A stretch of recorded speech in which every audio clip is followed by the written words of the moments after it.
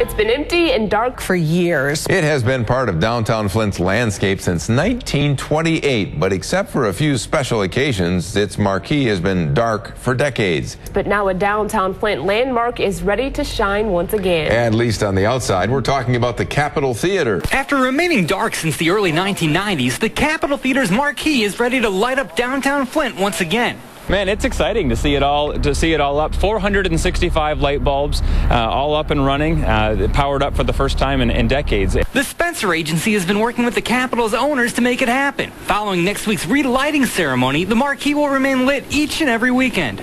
With the Spencer Agency and Rich Canever from Kev- uh, Canever Chevrolet, and really, Josh, what made you guys want to pull this off here? Well, we know we realized that for so many years being dark, that we weren't going to be able to generate as much interest in the theater as needed to be able to possibly do something here in the future without getting the lights on. And that's when we went to Vic Canever Chevrolet, and they offered to uh, replace the sign and then pay for those lights to stay on every weekend. It makes me very proud because my father's been here a long time before me, and uh, you know, downtown Flint is is uh, part of history.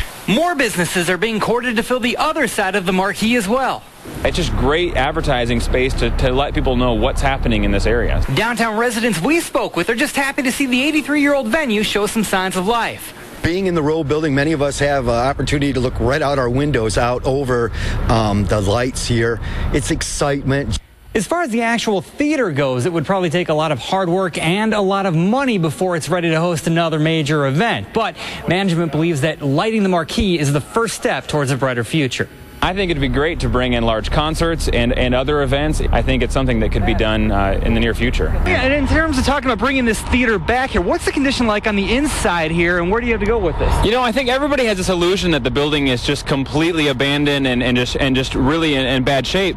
But we've been having the offices around the outside have been occupied for years, and uh, we've done this renovation here with the agency. But now in the interior, it's actually in pretty good condition. I mean, it's been it's been heated for the last 30 years. The owners have paid for it to stay uh, in its in its current condition, and it's in good shape. It just needs to have a plan and then a little bit of budget to help get it up to up to par. Well, are we going to get back to that point? Do you think, or where concerts are back in here? Yeah, I think so. I mean, whatever it might be, whether it's whether it's live entertainment or music or movies or, or those kind of things, there's a lot of different options. Right now, I think our hopes are that this is stage one. Mm-hmm. Getting the sign lit, having it lit permanently, will be stage one now into drawing attention to the sign. Well, thanks for sharing that with us. We're live outside the Capitol Theater. Mark Jacobson, ABC 12 News. We'll be right back.